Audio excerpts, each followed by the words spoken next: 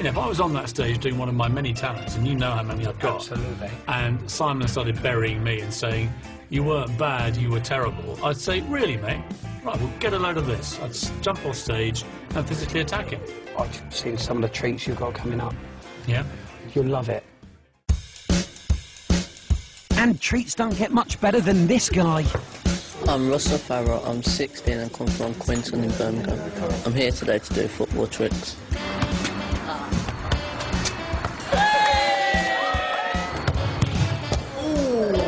Good at football because I've got the speed, stamina and plenty of skill. Hello. When people see me doing my tricks, they think I'm amazing. How are you? Nice to see you. I'll compare my tricks to Cristiano Ronaldo. You do keep your uppies and stuff. Yep. How many can you keep it up for? If I was to put my mind to it, yeah, I could be a professional footballer. One, two, three, four. I'd love to meet the Queen because she's like in control of Britain, so I want, I've got a few questions to ask. 15, 16, 17. Oh, I'll ask her how is it feel to be like on top of Britain. he the man. I'm the man. He the man. I'm the man. He the I'm man. the man. He the I'm the man. man. He the man. What's your name? Russell Farrell. Russell Farrell. Okay, and I presume you're going to do something with the football? Yep. Good. Are you any good? Yep. Um, and do you think you can win? I can try. Should we just get on with the act? Yeah. Yeah. Thank you. Thank you. All right.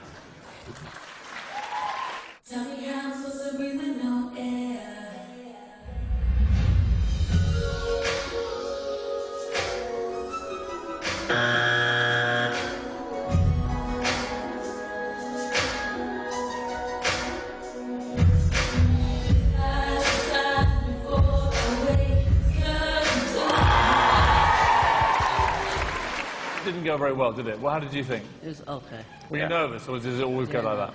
Russell, no, I think you need a bit more practice. I think you need a lot of practice, actually, Russell, to be fair. Um, Okay. And just develop a little bit more showmanship. So, Piers, yes or no? No, sorry. It's a no from me, Russell. Sorry, Russell. Thank you. Russell, Russell, Russell. What went wrong? My nurse got the better of me. Really?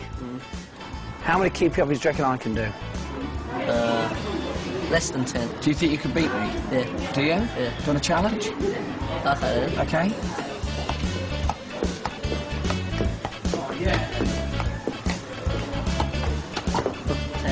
Was it 10? Yep. Right, you'll go.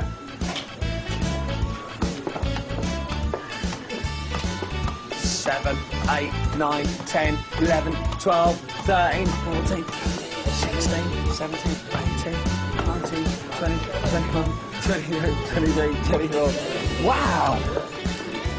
Good man! Round of applause for Russell, everybody! Brilliant! See? That was brilliant! I mean, I don't know what happened. Isn't it amazing? Did you know in the name of Amanda you can find two other words, A and man, which is why our next feature is not far from genius. As we find out who is the best, a man or Amanda. This week, who can play the beautiful didgeridoo the best? Her up, Amanda. I'm very impressed with this cobber. Not one didgeridoo, but two. Rolf Harris, eat your heart out. You're flaming galah, Amanda! How do you expect to win by playing one didgeridoo? Oh. oh, that's much better. Yeah, tease me, Amanda. Tease me.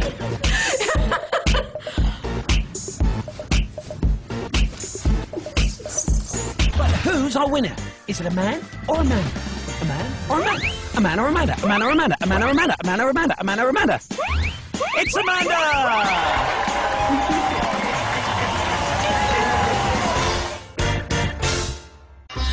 You're watching Britain's Got More Talent, and we'll see you after the break. Coming up. melon How much do you pay yourself? Me? Uh,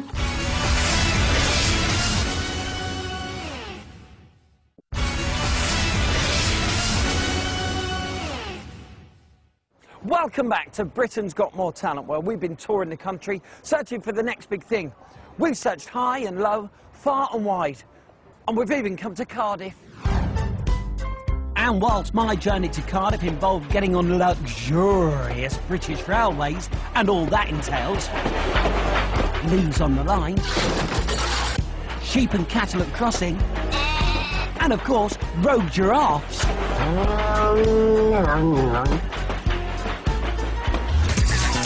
Those lucky Ant and Dec boys get to travel around in a Volkswagen Caravelle.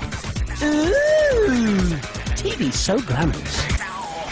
This is your car. This is the Anton Deckmobile. Do you own this car? Yes. It's great. I'm, I'm really enjoying We it. were considering putting stripes down the side, but that might be a little bit too much, I reckon. A and D. Yeah. Yeah, the E and D team. so, we're in Cardiff. We're in Cardiff. Do you talk to every act? Yes. Pretty Right. much, yeah. Yeah. Do you? We do, yeah, because if you don't, you could miss the winner. Do you know what I exactly, mean? yeah. well, we had an um, unfortunate incident with Paul Potts on Series 1 where we Which one are you going to tell? well, yeah, not that one. Oh. Uh, where we didn't get him going on. Uh, and then he went on to kind of, uh, you know, and rapturous applause, a standing ovation. If the truth be known, We're upstairs eating sandwiches. we went up for a little sandwich. And then we heard, there's a dog. I think we best get back downstairs. so since then, we've had to interview everybody. so it's, It's kind of our fault, I think. So sorry about that. But Probably- also, there's that thing where you go, well, he's not going to win. Right? to be fair, we did say, I'm not going to bother speaking to him. And then he goes on, brings the house down. We were like that. What? Standing ovation. oh, no. enjoying a very nice ham and tomato sandwich.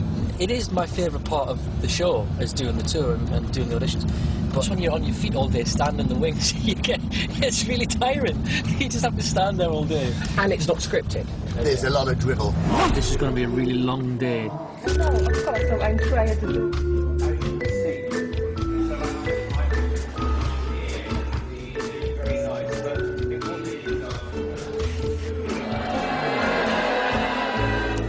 Must have, yeah. I reckon have. I've got worms. And whilst Ant worries about his digestive dilemma, I'm more concerned about the energy levels in Cardiff. And I'm not talking about carbon emissions. Come on, people, wake up! Paul Potts didn't get where he is today by munching on a sandwich whilst wearing a piano tie, did he? This is ridiculous. Come on, Cardiff, one of you must have some zest, some zing, some. What the hell is that? Hello? Hello? Hello? Is anyone going to wake this town up? I want to be famous. I can't believe how funny I am. Yay! The comedian has arrived! For those of you that missed that, it's 41 year old comedian Jan, and she has arrived. Baby! I came to enter the show because I wanted to show that I wasn't just a lunatic, to be honest you. I wanted to prove that I can be a cracking stand-up, which this show needs. You, me, I'm the only one who is capable of doing this. Cowell, I think, will fall in love with me. I think that man is going to be lusting. It's a good job he's sitting behind a desk. Oh, it's going to be wacko. I don't know how I'm going to talk. Hello, Who are you? I'm Dan. And what's your act? I'm a comedian. Okay, Jan, whenever you're ready. Lovely. I can't remember the last time I had a buzz like this, only on the day I got married. And the vicar said to my husband, Do you take this woman? Eight ushers said, We have. and then, not only that, straight after the wedding, he, he died. It was awful. He was screaming and screaming, so I shot him again.